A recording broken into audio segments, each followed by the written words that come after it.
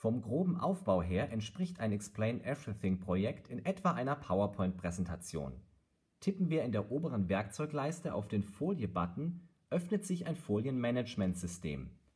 Es empfiehlt sich in Explain Everything nicht eine Folie mit sehr viel Inhalt zu erstellen und lange Videosequenzen am Stück aufzunehmen, sondern viele aufeinanderfolgende Folien mit wenig Inhalt zu erstellen und jeweils eine eigene Videosequenz aufzunehmen.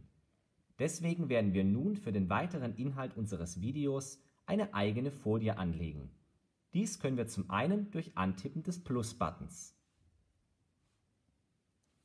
Da wir in der nächsten Folie allerdings die Überschrift der ersten Folie behalten möchten, duplizieren wir diese Folie. Durch längeres Antippen der ersten Folie ergeben sich drei Optionsmöglichkeiten.